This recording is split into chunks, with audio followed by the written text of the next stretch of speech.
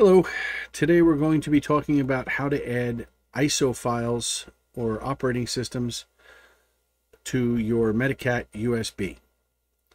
Um, it's really fairly simple. This is going to be a very short video, so try to follow along quickly if you can. Uh, I already plugged in my Medicat USB. We're going to open up File Manager, and we're going to see Medicat here. Now, I actually already copied some right to the root directory. Right here, we've got Linux Mint, um, Manjaro, Windows ME. How old am I?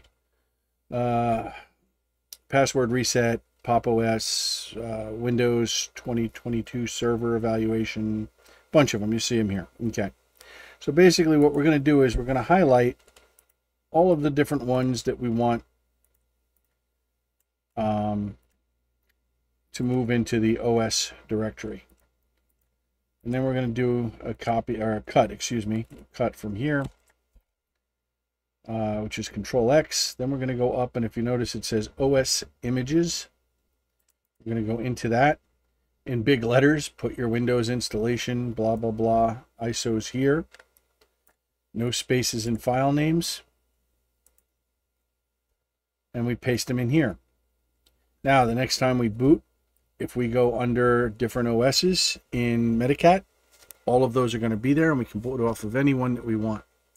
This comes in very handy for installing new um, Windows uh, installs if you lose your um, restore partition. That's about it. There's really not much more to it. I could try to lengthen this out more, but I don't think we should. A simple two-minute video usually works out quite well for people. Um, if you like the video and you like other videos, please smash that like button and uh, give us a subscribe. That would really help. Got to keep the YouTube algorithm happy.